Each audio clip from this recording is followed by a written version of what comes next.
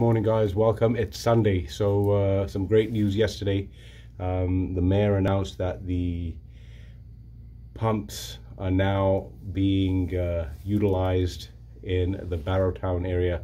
Uh, the water levels are re receding enough for them to function um, at a capacity. And later on I'm hoping that uh, he announces that they'll be at uh, full capacity. So great efforts made by everyone that's uh, uh, getting out there and uh, doing their part. So if you need help, give us a ring, 778-999-1531.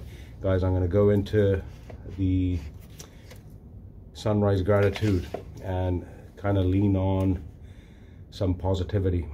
you are amazing and your dreams matter. Struggling doesn't have to be go the go-to mode in your life. You are here for a reason there is a purpose to your life.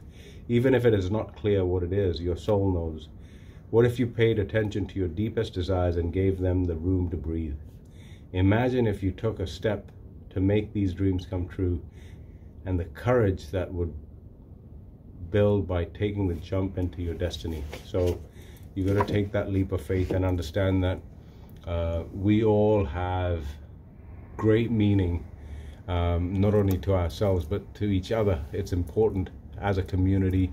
The strength will help us through any kind of diversity. So um, stay on that path, guys. Enjoy your day. I'm going to see you a little bit later on. Ciao for now.